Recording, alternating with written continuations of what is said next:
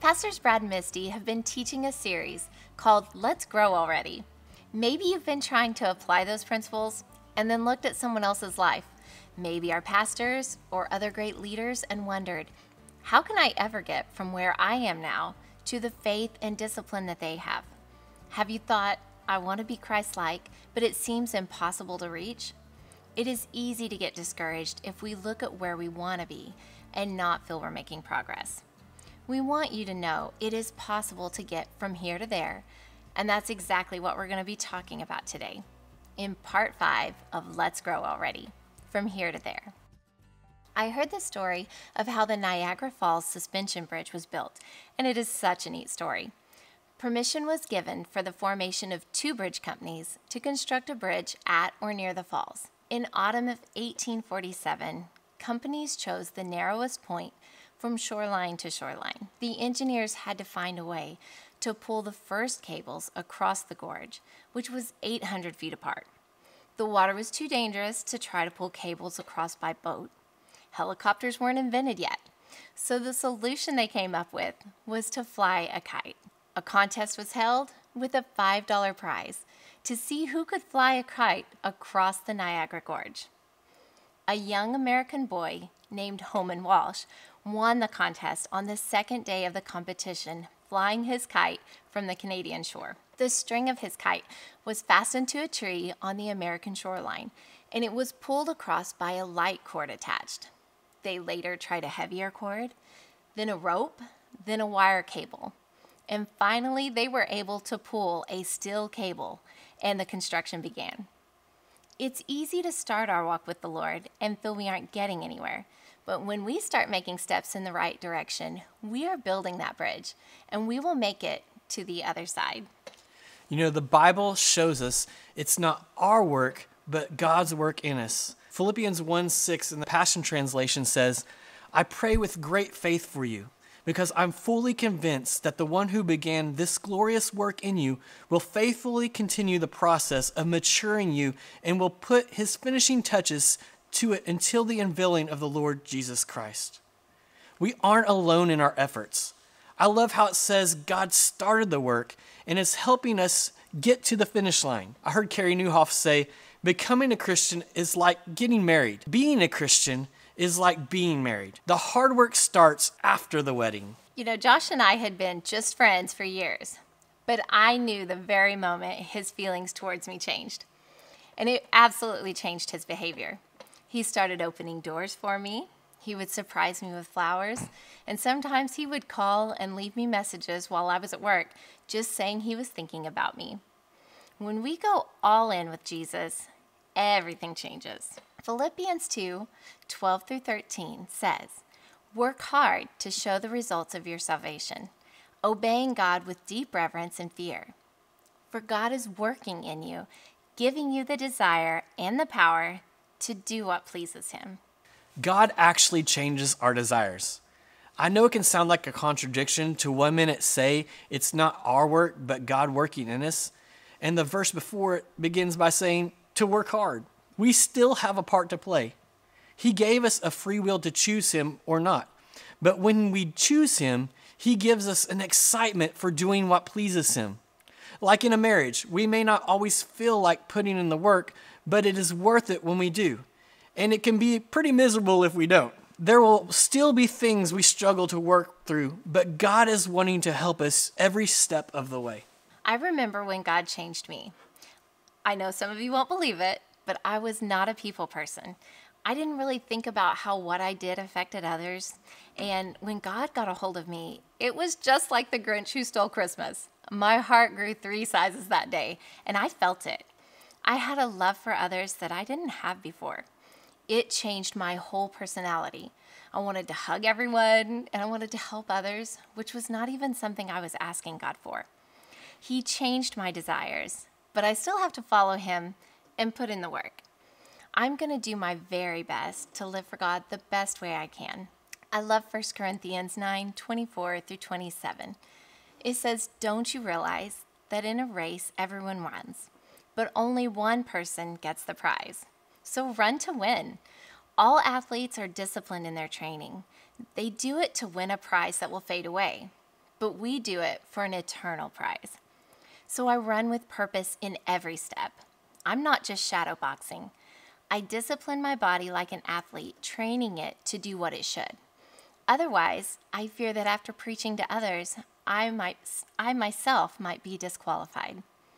I will do my best, but then I'm going to trust that God is with me to help me all along the way. Josh Mayo said, Authentic Christianity is more about direction than perfection. Romans 3 says we have all fallen short of the glory of God. None of us are perfect, but continue heading in the right direction toward the goal. God doesn't expect us to be perfect, but He expects our perfect effort. So today we want to give you two things you're going to need to go from here to there. The first is to listen for His voice. I don't know about everyone else, but the biggest struggle in our relationship is when we don't listen to each other. Or more specific, when really I don't listen. it's the same with our relationship with the Lord. The longer I have walked with Him, the more I hear and recognize His voice and His leading. But if I'm too busy or distracted by the situations around me, I miss it. Pretty much everyone uses a GPS system when they go on trips, right? It's really handy because it helps by telling you the directions that are coming and when to make turns, ending in getting to the place you've desired to be. But if you get distracted and miss one turn, you could end up in some places you never wanted to be. John 10 1 through 5 says, Very truly, I tell you, Pharisees, anyone who does not enter the sheep pen by the gate, but climbs in by some other way, is a thief and a robber. The one who enters by the gate is the shepherd of the sheep. The gatekeeper opens the gate for him, and the sheep listen to his voice. He calls his own sheep by name, and he leads them out. When he has brought out all his own, he goes on ahead of them, and his sheep follow him because they know his voice. But they will never follow a stranger. In fact, they will run away from him because they do not recognize a stranger's voice. We can't follow his leading if we don't hear him telling us where to go. Proverbs 3 5 through 8 says, Trust God from the bottom of your heart. Don't try to figure out everything on your own. Listen for God's voice in everything you do, everywhere you go. He's the one who will keep you on track. Don't assume that you know it all. You know, it really comes down to trust and surrender. What does it mean to trust and surrender? It means God has full access to everything about you. It means I want to please Him more than myself. So if I have to choose between what I want and what He has for me, I choose His way. It means I give Him control of my behavior, how I treat people, how I treat my wife and kids. And when, I, when He speaks to me and challenges me on something, I surrender, surrender it to Him and make changes. So the next time you want to road rage on someone and God says, no, that's not who you are anymore, change your behavior. This is like where it talks in Romans 12:2, God transforming your mind. He's curating in you a new default behavior. You know, Pastor Misti pointed out last week that we all have blind spots.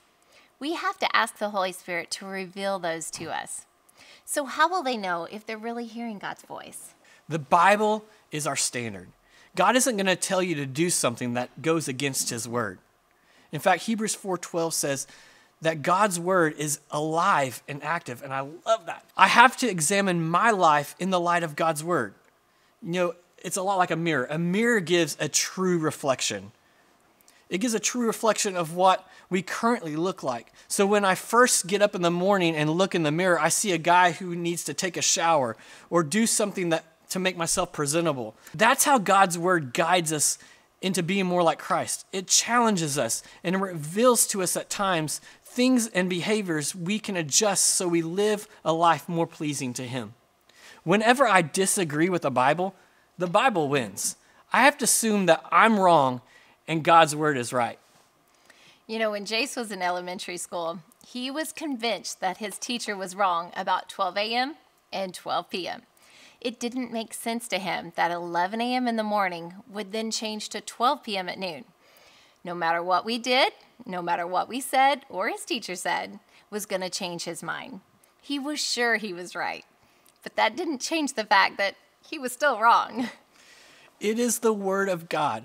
My words are not greater than his. The living written word of God has authority over our lives. Psalms 119, 9 through 11 says, How can a young person stay on a path of purity? By living according to your word. I seek you with all my heart. Do not let me stray from your commands. I have hidden your word in my heart that I might not sin against you. You know, it will always be a never ending process. And I think that's why Paul says in Philippians 3 13 and 14, No, dear brothers and sisters, I have not achieved it, but I focus on this one thing forgetting the past and looking forward to what lies ahead. I press on to reach the end of the race and receive the heavenly prize for which God, through Christ Jesus, is calling us. You know, once we know what he wants us to do, it comes down to obedience. You're not going to go from here to there just by listening to him only. You have to obey his voice. But what happens when you when you know what he wants you to do, it gives God gives you a boldness and a confidence. I'm no longer guessing which path to take. It's it's no longer just a stab in the dark. He knows us inside and out. You know, we doubt, question, and often choose an alternative path. You know, one of the craziest things as parents and frustrations is when our kids disregard our advice. I was giving Shayna some advice when she was in high school, and she told me she would just have to learn the hard way. And I had to laugh. I know I learned the hard way at that age, but I don't remember realizing I was doing it the hard way. We have to recognize we don't see and know it all. God has a totally different perspective. I heard about a man and his son on an airplane. His little boy looked down and said, Look, Dad, little people, little houses, little trees. From our view, our problems look like skyscrapers, but God is looking down and sees them as little problems. I think we have to get to the point where we just say, God, I'm going to trust you. And the bottom line is, it does, does us no good to hear God's voice if we have no intention of obeying and following it. James 5 1 says, If you need wisdom, ask our generous God, and he will give it to you. He will not rebuke you for asking. The first place we need to go for guidance is the Lord. You know, not even our pastors, even though they're great, or a counselor, or a friend. We need to seek Him first and give Him an opportunity to guide you. You know, early on in our ministry, we had lots of advice for parents. We were quick to tell them everything we had learned in youth ministry classes at Bible college, even though we didn't have teenagers at that time. We learned that we could come alongside them, pray with them, and point them to the principles in God's Word. But we realized God wasn't going to give us the plan for their life, He was going to give the plan to them. It's like this cat in the picture. At times, we can only see one option until we seek the Lord and He shows us another way out. You know, surrendering to God reminds me a lot of a house. You know, a house has many rooms. And if we're honest, like when, if you were to come into our house, there's some rooms that probably aren't presentable, but there's a few rooms that you could walk in at any time, and most of the time they look perfect.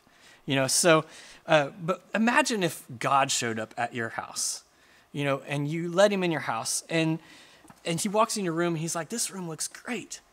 You know, Jesus is sitting there in your living room. He's like, This room looks great. Hey, show me more of your house. And you begin to get a little nervous because not every room in your house looks the best. But you take him into the, the next room that you know looks good. Maybe it's the kitchen, you know, and he's like, This room looks great. Everything looks in place. It looks it looks perfect. He's like, But I need to see more of your house. And then you begin to say, You know what, Jesus, the rest of our house, the rooms don't look perfect. They don't look, they don't, they're, they're just kind of messy. And Jesus is like, if you want me to be the Lord of your, your house, I need access to all the rooms. And you may be like, Jesus, you know, I'm kind of embarrassed to show you this room. But Jesus says, if you want me to be Lord of your house, I need access to all the rooms. But Jesus, I'm kind of embarrassed to show you those rooms. There's, there's things in there that no one else knows about. And Jesus says, but if you want me to be Lord of your life, I need access to all the rooms. I need the keys to all the rooms. I need access to everything. Because I don't want to, even though that room may be a mess, if I'm not in it with you, I can't lead you out of it. And I want to lead you lead you out of the mess. I want to lead you out of the hurt. I want to lead you out of the struggles that you've had and into the life that I've called you to be. Jesus wants full access. He, he, he doesn't want to just be your Savior, He wants to be your Lord. He wants to bring you out of the struggles, out of the mess, out of everything you've been going through, and into the beautiful life that He has for you. You know, I want to pray with you right now. But before I do, Jesus wants all access. And maybe you're watching today and you say, man, I really haven't given him all access to everything about my life. I haven't I haven't told anyone about the hurts that I have. I haven't told anyone about the messy issues in my life. But today I want to give Jesus full access to those. I want him to lead me out of those. What I want you to do right now is just simply type all in in the chat. God, I'm giving you all access. I'm going all in with you. I'm giving you access to every single room in my half house, no matter what it looks like, no matter what, what, the, what the mess is in or, or all the problems I have. God, I want you to be a part of all of it. And so today I'm going all in with you. I want you to take me from where I am now, from here to there, to the life that you have for me. So let's pray right now just repeat this prayer with wherever you are. Lord Jesus. Lord Jesus. Today. Today. I choose. I choose to make you. To make you. The Lord of my life. The Lord of my life. Come into my heart. Come into my heart. Be my Savior. Be my Savior. And my Lord. And my Lord. God, I give you full access. God, I give you full access. To everything I am. To everything I am. Lord, I believe. Lord, I believe that you died on a cross for me. That you died on a cross for me. And that you rose from a de- from the dead. And that you rose from the dead. And that one day soon. And that one day soon. You're coming back for me. You're coming back for me. So Jesus. So Jesus. I make you everything to me. I make you everything to Be me. the Lord of my life. Be the Lord of my life. In Jesus' name. In Jesus' name. Amen.